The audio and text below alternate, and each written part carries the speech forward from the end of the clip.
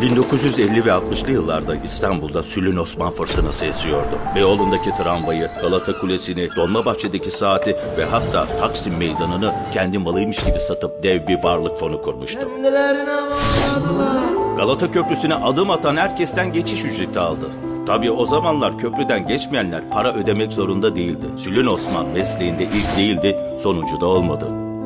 Bu işler bazen bireysel, bazen organize işler. Ama her zaman yanlış işler. Saadet Partisi keyifli seyirler diler.